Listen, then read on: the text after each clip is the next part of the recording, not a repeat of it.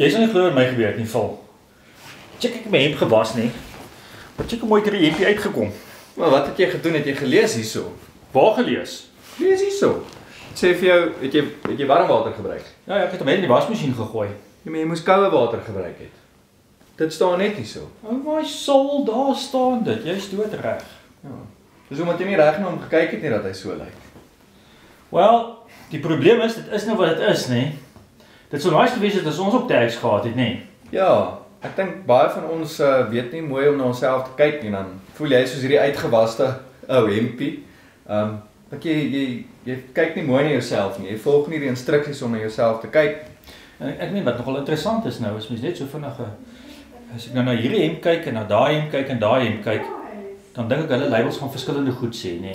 Ja, kyk hierdie moet hierdie moet jy Koue water was koue water was. Yes. Ek weet hierdie moet jy nou ook in koue water maar jy moet jouself toe Moet hom droog maak. moet hom delicate was en so aan en so.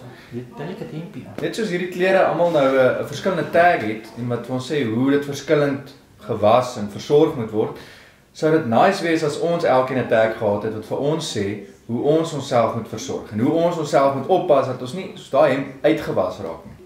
En die probleem is, net soos al daai hemde, is ons ook nie almal dieselfde nie. So die vraag is, hoe hoe kyk jy na jouself dat jy nie so uitgewas raak en uitgewas voel in hierdie lockdown tyd en doen? Ek dink nogal. Dan vir wat ons moet doen, nê, is ons moet eers 'n oefeningkie doen. Ja. En dis nogal dat mens vir jouself die vraag vra. Is dit vir my goed my tag as ek net 'n bietjie van innig my eie my eie tag moet diagnoseer, nê?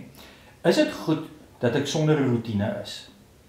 Of sê jou tag vir jou jy moet roetine hê. Met ander woorde ek staan 11:00 uur oggend op en ek doen verskillende goed op verskillende dae en ek het nie roetine nie. Ek dink die feit dat 'n ou nie roetine het nie en nie opstaan met 'n doel nie, dit maak dat 'n ou uitgewas voel. Ek dink ons elkeen is maar verskillend. Ek dalk 'n 'n 'n truitjie en jy's dalk 'n jas, nê? En dis nie dieselfde manier nie. Ons elkeen is verskillend. So partykeer gaan die manier hoe jy jouself versorg en ek my versorg verskillend wees, maar daar's darm basiese goeders. As jy 'n hemp was, dan was jy met water, nie met vuur nie, nê? Dis die waarheid. reg. Dis die waarheid. So so daar's 'n paar goeders wat vir ons algemeen is, hoe ons onsself moet versorg. En een van die goeders is dat ons rotine moet hê. Dis baie waar. En dat jy moet voel maar ek het 'n doel. Ek staan op en daar's iets wat ek vandag gedoen moet kry. Anders flout mens net en dan naderhand raak jy uitgewas. Snaakse ding is ons uh, ons generasie en ons wêreld sê vir ons daar's nie tyd vir rus en na jouself kyk nie. Jy moet net aangaan en aangaan en aangaan en aangaan. En in die lockdown voel ons dit verskriklik erg. Daar's nie naweke nie, daar's nie vakansies nie. Elke dag gaan net aan en is dieselfde en is hoë spoed en ons moet cope daarmee. aan die ander kant is. Is lekker daarvan. Die Here het nou vir ons 'n tyd geskep waar ons nie goed moet doen nie, maar goed kan doen. Dis lekker. En dis nogal nice, nee, dat mense daai tyd het om jou Ja. Bybel te lees. Ekskuus. Ja, die Here Jesus het self tyd gevat om na homself te kyk. Voor hy die grootste geskenk of grootste daad in die wêreld gedoen het waar hy homself gegee het om om gekruisig te word vir ons, het hy ook na homself gaan kyk. Julle sal onthou hy het na 'n tuin in Getsemane gegaan en hy daar gaan bid. En daarso het hy na homself gekyk, homself versorg. Want Jesus het geweet, hy kan nie gaan doen en vir ander mense gaan gee as hy nie na homself kyk nie. En ek wil hê ons elkeen moet soos Dom sê hierdie geleentheid gebruik om bietjie selfsorg aan te te wet. Dat ons kyk wat ons label sê. Jou label en iemand anders se label is nie dieselfde nie. Jy moet jouself leer ken. Daar's sekere goeters wat vir my frustrerend is. Ek kan nie tussen mense wees nie. Dit maak my mal.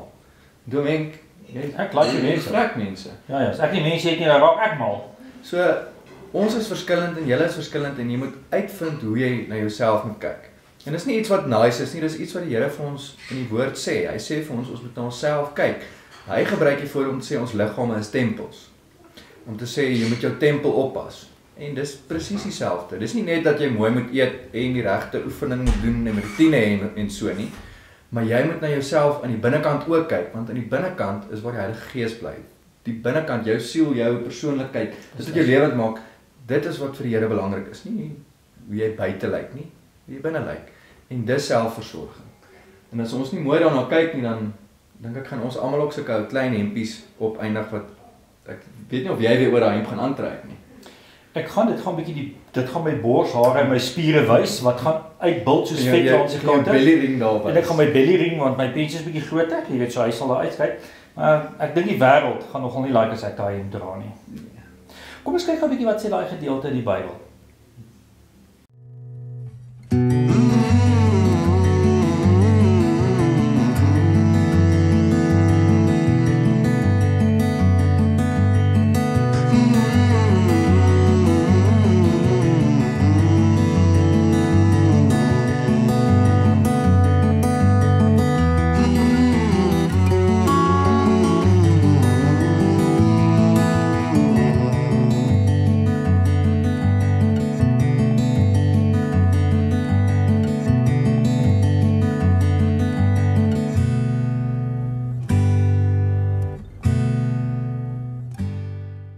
So, ouens. Uh nou dat ons mooi gehoor het wat die skrif sê, jy uh, kan maak wat ek gemaak het met hierdie ou hempie. Jy weet ou kan lei wees. Jy kan ding in die was gooi sonder om die label te lees. En miskien lewe mense nogal so dat mense nie jou eie label leer lees nie, is net wat ons te lei is om uit te vind presies hoe ons werk. En dan raak jy so. So ek hoop nie. Ek hoop nie julle raak so nie. Julle moet 'n awesome week hê. Sterkte julle. Cheers. thank you